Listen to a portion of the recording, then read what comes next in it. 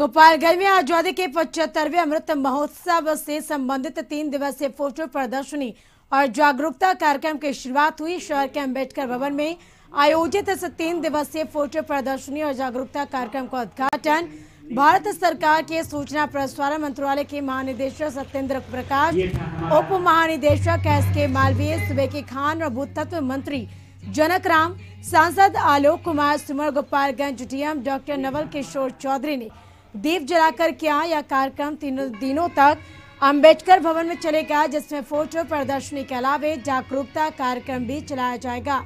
और इस दौरान सूचना प्रसारण मंत्रालय के महानिदेशक सत्येंद्र प्रकाश ने बताया कि भारत आज़ादी का पचहत्तरवा अमृत महोत्सव मना रहा। इसकी शुरुआत 12 मार्च 2021 को प्रधानमंत्री ने साबरमती आश्रम से सांकेतिक डांडी यात्रा की शुरुआत की थी। और यह 15 अगस्त 2023 के दौरान 75 हफ्तों तक चलेगा।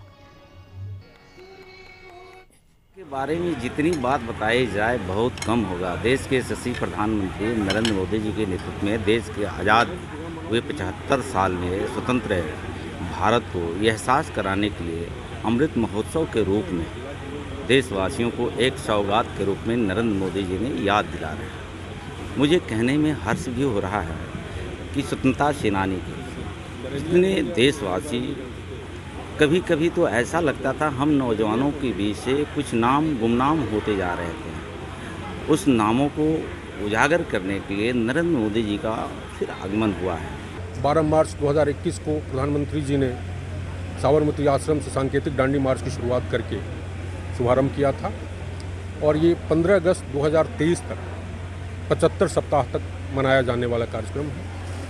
इस कार्यक्रम के श्रृंखला में सूचना और प्रसारण मंत्रालय, भारत सरकार का जो लोक संपर्क और संचार ब्यूरो है, वो देश के विभिन्न भागों में चित्र प्रदर्शनियों का या मल्टीमीडिया प्रदर्शनी